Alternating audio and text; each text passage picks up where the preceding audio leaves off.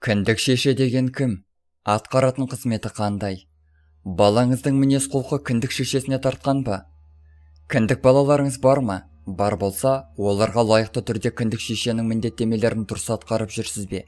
Ең алдымен бала өміріндегі өз анасынан кейінгі орын алатын екінші анасы кіндік шеше туралы тарқатып айтсақ бұл атауды күнделікті өмірімізде естіп қалып жатқанымызбен толықтай мағлұматтарға қанық еместігімізді мойындауымыз керек. Кіндік шеше дегеніміз кім? Ертеректе кіндік шеше деп нәресте шыр етіп дүниеге келгеннен кейін оның кіндігін кесетін әйелді айтқан. Қазір біз сәбиді перзентханадан алып шыққан адамды кіндік шеше деп жүрміз.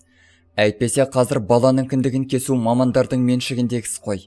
Кейбіреулер перзентханаға алдын ала сайланған кіндік анасын ертіп келіп дәрігерлерге өтініш айтып баланың кіндігін сол адамға кестіртіп жатады. Бұл да кіндік шешенің мойнына артылған үлкен жауапкершілік. Кіндікті кім кеседі? Кезінде үлкендер кімнің кіндік шеше болатынына ерекше маңыз беріп және оның мәртебесін қашанда арттырып отырған екен? Осынау адам өміріндегі кіндік әке шеше ретінде өз балаларын аяғынан нық тұрғызып жақсы тәрбие берген. Ел ішінде аса қадірлі жандар таңдалған. Ал адамның байлығына емес рухани мәдениеттілігіне табиғи шынайылығына қара қылды қақ жаратын әділді болуына қарап қатты мән берген. Тіпті кешегі күнге дейін баланың кіндік шешесін оның анасы емес әжесі таңдап беретін болған. Өйткені жас келін шынында да сол әулеттегі әйелдерді терең танып білмеген. Көпті көрген ақ жаулықтана ел ішінде абырой үстем жайсаң іскер. Пысық әйелдерді жақсы танып білгендіктен немересінің келешегі болашағы үшін алаңдап таңдауды өз қолына алған. Кіндік шешенің мінез құлқы неліктен маңызды. Бала кіндік шешеге тартады деп айтпайды өйткені шыр етіп жарық дүниеге келген баланың жалаңаш тәнін қолмен ұстап тұрып кіндігін кесу арқылы әрбір адамның бойында болатын биоөріс пен адам бойындағы қасиеттер белгілі бір мөлшерде балаға беріледі. Бала да оны бірден қабылдайды. Сондықтан баланың ата анасына ата әжесіне тартпаған кейбір мінездерін міндетті түрде кіндік шешесіне тартады. Ол пәленшенің кіндік баласы ғой. Мінезін қарашы. Аумай қалған кіндік шешесінен деген сөздерді естіп жататынымыз сондықтан емес пе? Сол себепті бала кіндік кескен адамға тартады. Кіндік анасы қандай болса бала да дәл сондай болады деп ырымдаған екен. Яғни баланың мінез құлқы жүріс тұрысы ақылы адамгершілігі еңбекқорлығы кіндік шешеге тартып келешекте елге сыйлы ақылды адамгершілігі мол болады деп сенген. Кіндік шешенің міндеті қандай?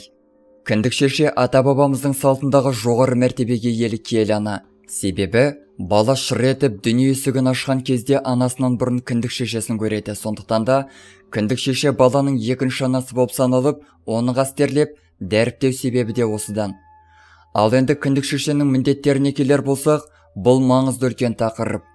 Кіндік шешеге қойылатын талаптар да жеңіл желпі емес. Сондықтан кіндік шешенің мәртебесі жоғары. Бұрынғы кіндік шешелер баланың тәрбиесіне көп күш салған. Жас ана қол аяғын бауырына алғанша әбден үйренгенше баланы суға шомылдыру керіп созу. Күту осының барлығын енесінен бұрын кіндік шеше мойнына алып өзі үйрететін болған. Балаға қатысты өткізілетін қырқынан шығарудан бастап қыздың тұрмысқа шығып ұлдың үйлену тойына дейінгі барлық игі шаралардың басы қасында кіндік шеше қадірлі тұлға болған. Кіндік шешенің міндеттері. Аяғы ауыр әйелдің күтімін жіті қадағалау.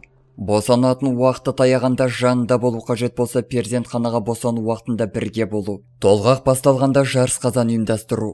Бұрынғы кіндік шешелер ай толғақ апта толғақ деген сияқты босанғанға дейін болатын толғақтардың әр күнін санап келіннің қай кезде босанатын күнін алдын ала болжай алған екен. Бала дүниеге келген бойда алғашқы киімі ит көйлегін апарған. Сондай ақ балаға қатысты тойында қоржын сандығын дайындаған. Сондықтан бас киімнен аяқ киіміне дейін киім кешектерін тігіп тоқып батасын беріп сыйға тартқан.